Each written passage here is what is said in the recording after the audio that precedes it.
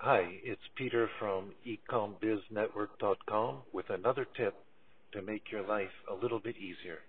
How many times have you gone to a gas station to fill up your tank and either you pull up to the pump and realize your gas tank is on the other side of your car and then you need to turn around so your car is on the correct side of the pump or you drive into a gas station and can't remember which side of the car your tank is on so you have to stop the car and get out to look which side of the car the tank is on.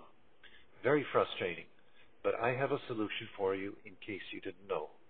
Very simple.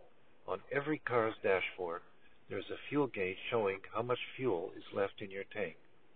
There on the fuel gauge is a little pump symbol, and beside the pump symbol, either to the right or the left, is a little arrow. This arrow indicates which side of the car your tank is on.